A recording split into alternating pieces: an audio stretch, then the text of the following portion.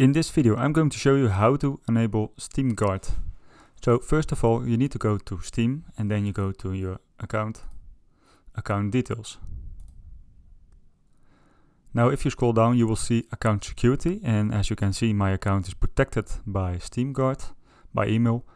and in order to achieve that you go to manage Steam Guard and as you can see there are two options to enable it. So you can choose to get Steam Guard codes from the Steam app on your phone or you can get them by email and as you can see I chose to get them by email but if you want to you can get them by phone. After that you can also choose to turn Steam Guard off if you wish to and that's how you can enable Steam Guard and if this video was helpful to you please leave a like and I see you in the next one.